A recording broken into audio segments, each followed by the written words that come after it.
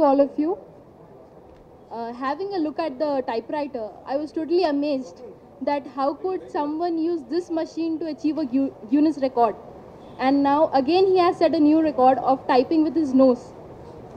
It requires a lot of dedication, determination, willingness, and out of box thinking to set the standards high for other competitors. I heartily congratulate Mr. Khursheed Hussain for becoming the world's fastest nose typist, and it feels proud and privileged that he belongs to our very own city, the city of pearls.